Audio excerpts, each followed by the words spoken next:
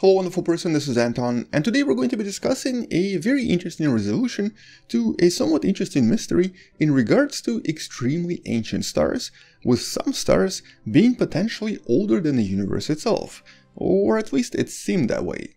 And all of this is going to be based on this relatively recent study that as always you can find in the description below, that was able to identify very specific objects somewhere out there in our galaxy, several different objects, that seem to explain how such unusual stars are created and why they seem to exist to begin with.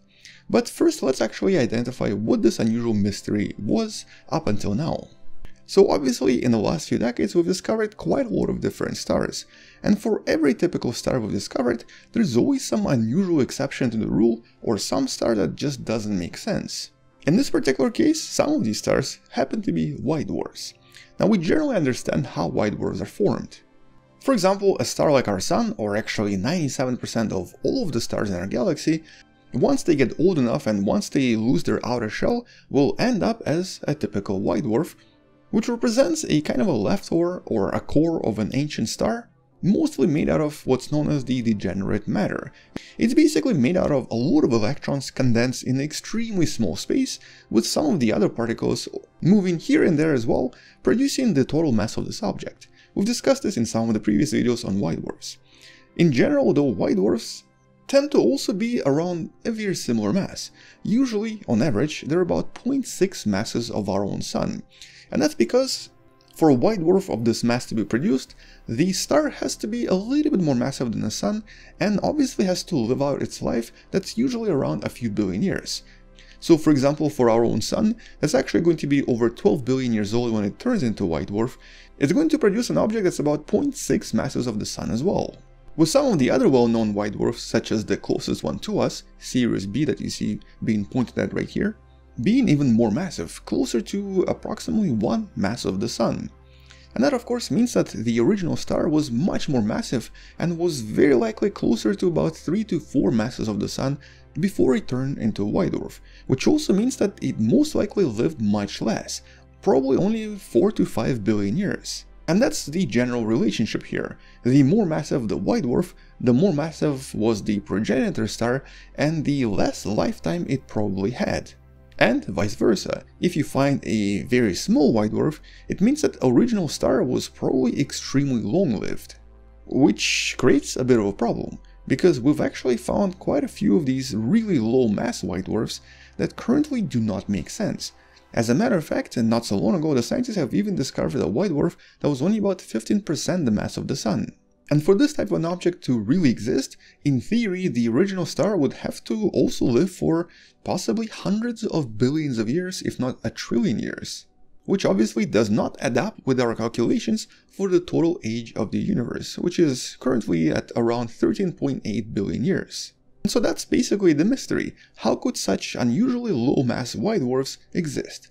Now, the proposition a few years ago, or actually closer to like a few decades ago, was that, well, maybe they're all part of what's known as the cataclysmic variable, essentially a binary system where one star steals the mass from the other.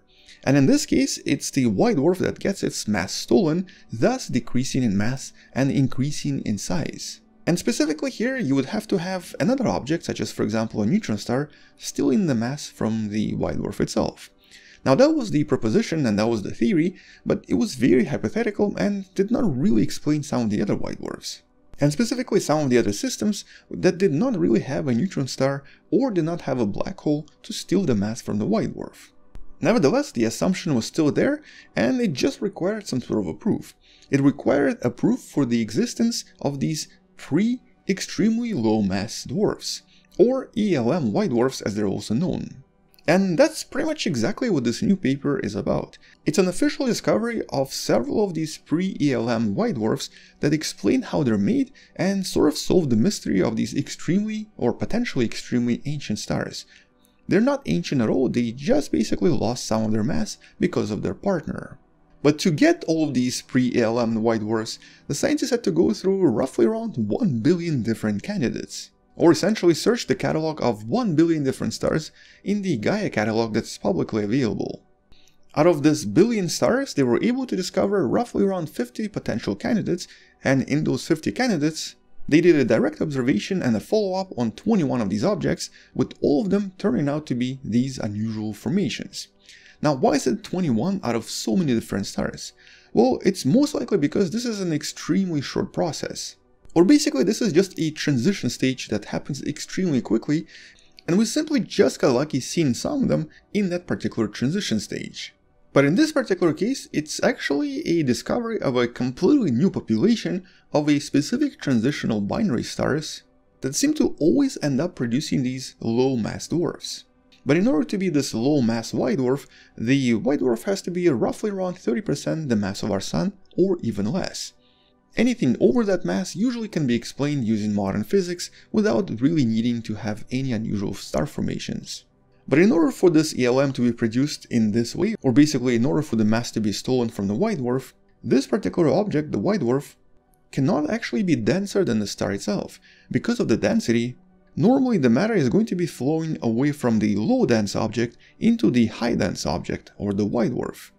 Which is why usually in these formations known as cataclysmic variable stars, you'll have a low dense and a high dense object, and the high density object is the one that's stealing all of the mass. So for white dwarfs, this has to be something that's a little bit more dense than them. And for white dwarfs, it means two things. It has to be either a neutron star, a black hole, or potentially another white dwarf that's slightly more massive and thus a little bit more dense. And that's pretty much exactly what the scientists have discovered. They've discovered a few of these white dwarfs that were way way more poofed up and bloated, and seem to also be somewhat egg-shaped because of the interaction with the object that's a little bit more dense and is still in their matter. But in this case, this right here is that white dwarf. This is the low mass white dwarf that's essentially losing a lot of its mass and is turning into something a little bit different. In this case, it's not an ELM just yet. It's what the scientists in this paper refer to as the pre-ELM white dwarf. But that's obviously not a very catchy name, so I'm sure in the future someone will propose a much better name for these unusual transition stages. But more importantly, the scientists have identified 21 of these objects, meaning that it's something that seems to be an explanation for how the white dwarfs will turn into low mass white dwarfs, and what exactly actually happens to them, both physically in terms of appearance and of course morphologically in terms of the actual shape of the star. And from the objects discovered, 13 of them were still actually actively losing their mass to their partner star, whereas the other 8 seem to have just stopped transferring mass and have sort of started to transform into something else, very likely changing their shape once again and thus beginning a transformation into an actual low mass white dwarf. With most of these objects discovered also being extremely hot, nearly 8000 Kelvin, but at the same time some of these objects also appear detached where the mass transfer sort of stopped. And in this case, the scientists believe that because of the extremely high temperatures, this causes what's known as magnetic braking, where it basically breaks apart this transfer of mass because the high temperature prevents some of the magnetic forces from allowing the mass to transfer effectively. And so with some of these hot objects, they very likely just completely stop transferring mass and start transforming into something different a little bit early on. But the most important discovery is of course the fact that these objects were even found.